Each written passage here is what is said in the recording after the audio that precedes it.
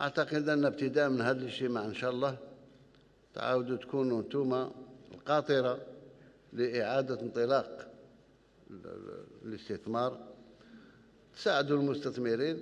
إذا كان المستثمر ما يستقبلوش الوالي شكون يستقبله؟ يعني على هرم اللي يمثل وزير الصناعة ويمثل وزير المالية ويمثل إذا ما استقبلوش يعني يفشلوا. ويخليه يطيح بين إيدين الوسطاء. واحد يوعدوا بكذا واحد يوعدوا بكذا وما أكثرهم وما أكثرهم. يتكلموا باسم الولاة يتكلموا باسم الوزراء يتكلموا حتى باسم الرئيس في بعض الأحيان.